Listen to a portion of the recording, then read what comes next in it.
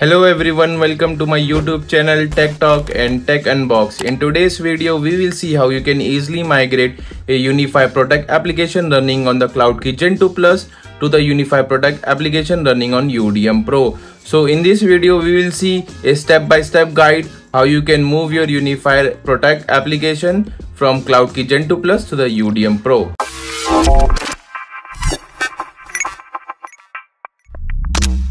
This is the hard drive bay of the UDM Pro.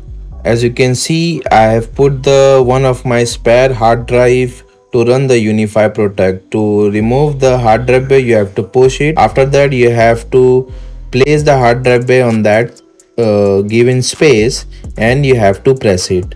After pressing it, it will initialize the hard drive and see if it's good or not. So this is how you can put the hard drive on the UDM Pro and you have to push that. After that, if it is successfully placed on that hard drive bay, uh, the LED on the hard drive will be blinking white and it will go stable white. So you can see here it is blinking now. So right now it is initializing hard drive, which means uh, it is uh, checking the hard drive is it good or not to process further so after that we will check on the UniFi app if that hard drive is good or not. So it says your hard drive is fully compatible and ready for use. So i will just click on that and proceed. And then i will go to the settings and check under the consoles and i will start the UniFi Protect app. So as of now it is just running the UniFi network app. After adding the hard drive uh, I can just start the UniFi Protect app on the UDM Pro. To that, uh, to start that application, you have to go to the settings console and you have to start the Protect app. Once it is started, you have to wait for it some time and then you can add the I mean the migrate from the CloudKey Gen 2 Plus the UniFi Protect to the UDM Pro. So it is starting. Now we will see on the LCM screen what the status says. So it will be showing up that UniFi Protect is running. As you can see here, the motion events, there is cameras count and everything shows up here. So the UniFi Protect is up now. So now we have to just go to the CloudKey Gen 2 Plus and migrate the UniFi Protect from the CloudKey Gen 2 Plus to the UDM Pro. And similarly, you can check the hard drive status. The disk says good HDD and check the model numbers, what's the size, temperature and everything.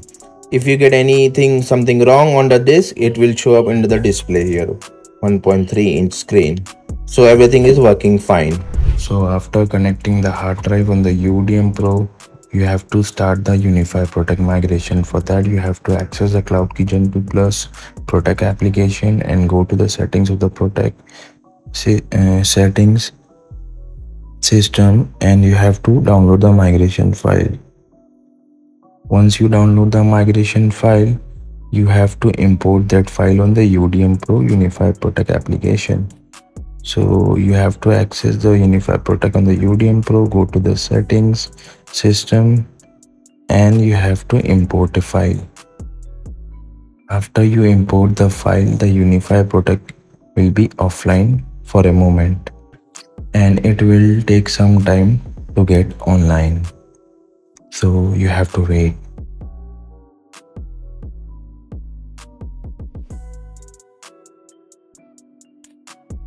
so the product is online now so all you need to do is to stop the UniFi Protect application on the CloudKey Gen 2 Plus.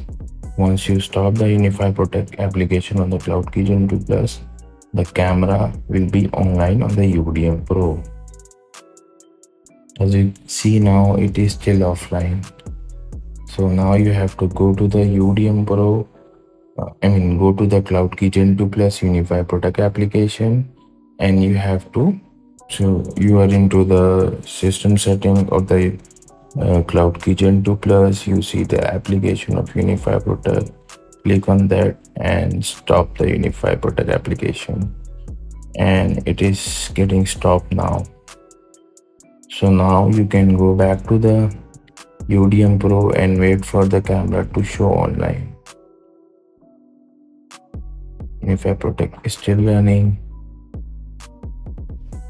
So it is now online. So it will be offline as long as you don't stop the UniFi Protect application on the Cloud Key Gen. Once you stop that application, it will start running on the UDM Pro UniFi Protect application. So this is how you can migrate a UniFi Protect from one UniFi console to the other. So in this case, I was, I was running the Cloud Key Gen 2 Plus as a UniFi Protect. So I have migrated to the uh, UDM Pro with the hard drive bay I have added.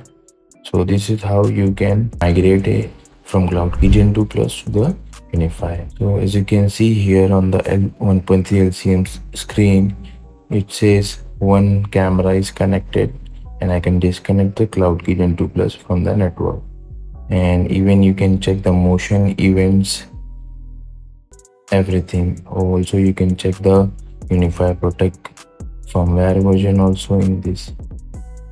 Only thing you will miss the previous events logs like you did a migration from the Cloud Key Gen 2 Plus to the UDM Pro. So I think that process will be a very easy to go through and I hope you understand the process. So I think that's it for the today's video. I hope you will like this video. Please like, share and subscribe to my channel. Thanks for watching. Bye.